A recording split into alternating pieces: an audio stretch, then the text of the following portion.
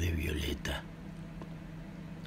Cae de bruces un silencio frío en el ocio violeta de la tarde, perplejas añoranzas. Se tuercen las paredes de mi estancia, ronronean las luces como gatos, el caserío soñoliento engrasa las campanas.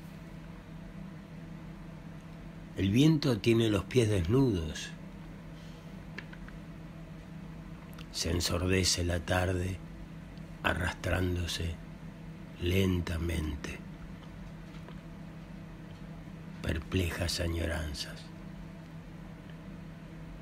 De reojo se miran los sarcasmos.